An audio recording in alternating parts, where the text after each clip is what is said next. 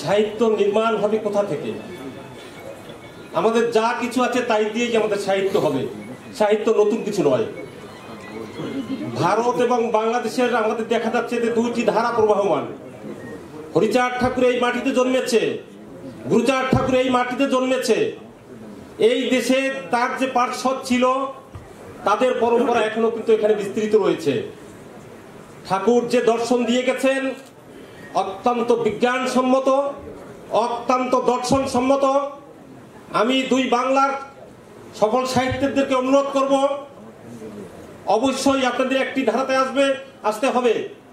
আপনারা যদি মনে করেন যে ব্রাহ্মণ, ব্রাহ্মণ্যবাদের কথা বলে, সেই বৌদ্ধ ধর্মের কথা বলে যদি আপনারা বলতে চান যে মতুয়া ধর্মটি সেই মতুয়া না, হিন্দু ধর্ম যেটা আমরা প্রচলিত অর্থে কথা বলা চলছে, সেটা বৌদ্ধ ধর্ম থেকে আসছে।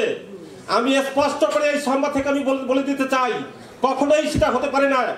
গুরু হরিচাঁদ ঠাকুর বলেছে এই কথা যে বুদ্ধর আকাঙ্ক্ষার মানে পরিপূর্ণের তরে তার এই আশা। কাজেই কোনোভাবেই বুদ্ধ আমাদের থেকে আসেনি।